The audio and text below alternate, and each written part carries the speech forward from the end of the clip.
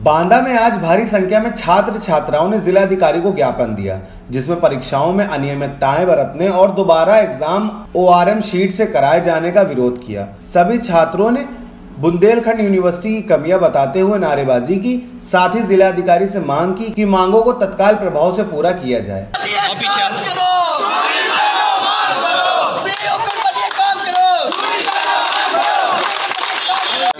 आज किस तरह का आप लोग ज्ञापन देने आए हैं? क्या है सर हम लोग ये बोलना चाहते हैं कि हम लोग के जो एग्ज़ाम्स हुए हैं मतलब हम लोगों ने पूरी मेहनत की पूरे साल भर पढ़ा और हम लोग ने जिस बेस पे पढ़ा रिटर्न एग्ज़ाम सब्जेक्टिव वाइज पढ़ा वो हम लोग का कुछ नहीं हुआ। चलिए ठीक है ओ एम आर शीट थी हम लोगों ने उसके बेस पे पढ़ाई की। ओ एम आर शीट एक ऐसा मतलब पेपर होता है जिसमें नॉलेज होना या ना होना बात की बात होती है बट उसमें प्रैक्टिस की बहुत ज़रूरत होती है। अगर आपको ओ एम आर शीट करवानी थी तो आप कम से कम कम मिनिमम उसमें टू मंथ पहले आपको और कोविड कब से चलता आ रहा है? कोविड की एक साल हो गया।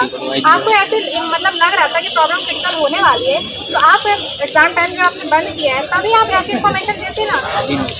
ये सब आपने कुछ नहीं कराया। चलिए ठीक है। एक पेपर है मैनेजमेंट आपने उसका भी बिल्कुल आउट ऑफ़ सिलेबस रख दिया।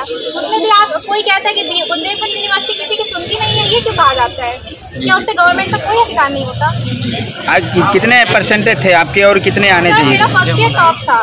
मैंने फ़र्स्ट ईयर में टॉप किया था कॉलेज में। तो उसका सेकेंड ईयर प्रमोट हो गया। अब थर्ड ईयर में एग्ज़ाम होने थे। तो इसमें सेकेंड डिवीज़न मतलब सेकेंड डिवीज़न का फेल ही कर दिया गया। क्या नाम है आपका? प्रिया सक्सेना। आज एक, किस एक, कॉलेज के? Rajiv Gandhi DAV degree college.